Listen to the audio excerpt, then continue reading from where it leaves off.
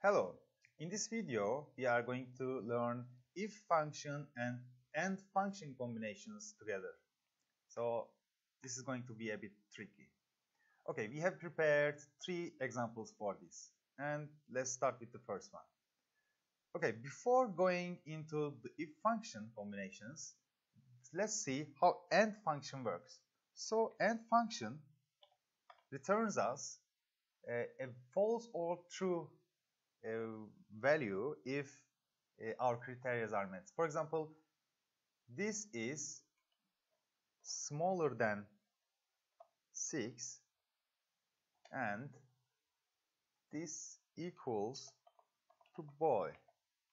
So both uh, logical com comparison are correct. So this AND function returns true. This is valid for uh, when we use it in if function. So let's look our example. We have names, we have genders and their ages here. And we find we want to find the, the people who are girls and older than 8 years old. And the question asks us to write yes if gender is girl and age is bigger than 8 for each person. And otherwise we are going to write no. Okay, let's see how we are going to combine if and functions.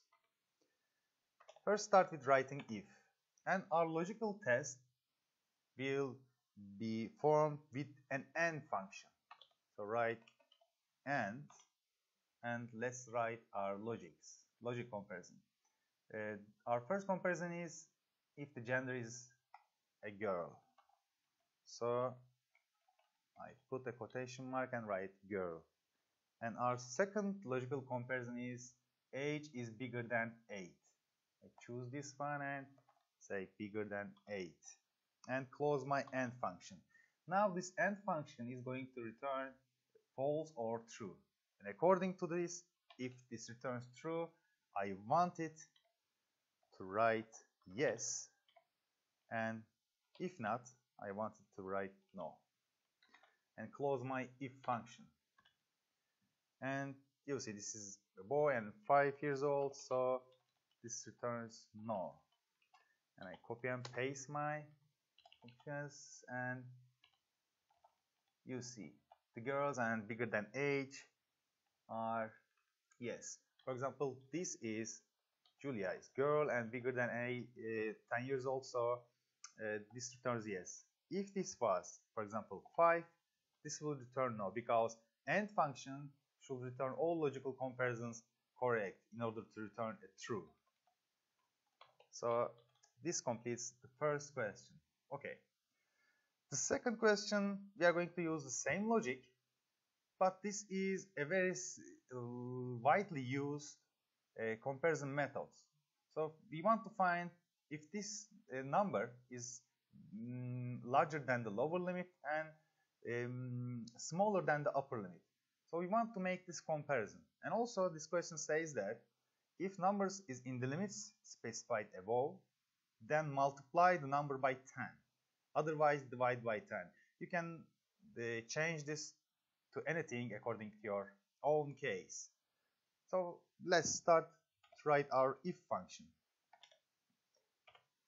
And write our logical comparison.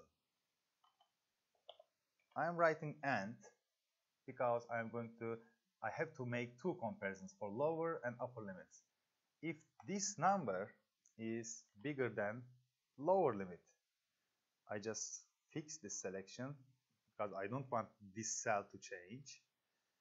Okay, my second logical comparison is going to be I choose this number is smaller than upper limit and I fix this again and I close my AND function. Now AND function has completed and I continue my if function. If this AND function returns true, then I want to multiply this number by 10. Otherwise, I want to divide this number by 10. So this close our if function.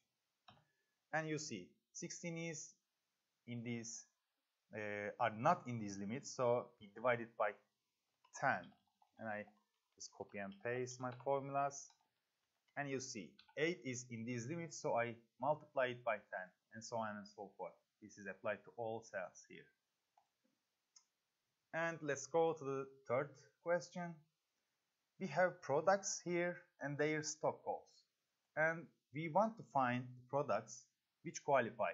So what is the qualifying factor? The qualifying is says that stock code is a number. Okay.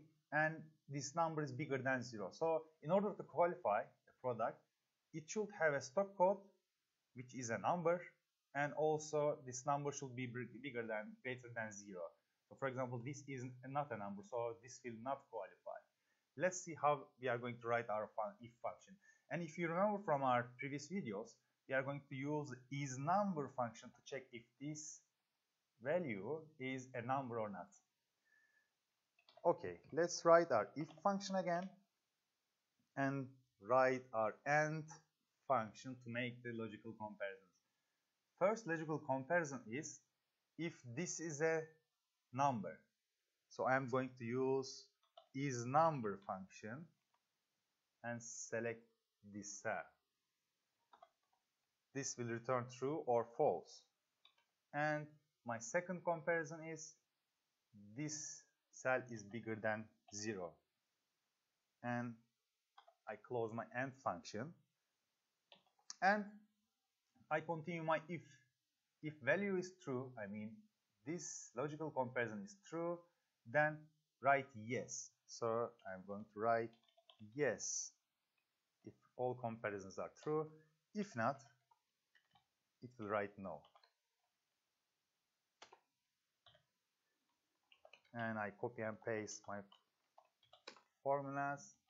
Let's make a cross manual check this is not a number it returns no and this is a number okay but this is not bigger than zero so it returns no and seems alright and number of products which qualify we are going to use count if function to find the qualifying products so let's write count function and select our range and what is our criteria our criteria is Yes, in order to find the qualifying products.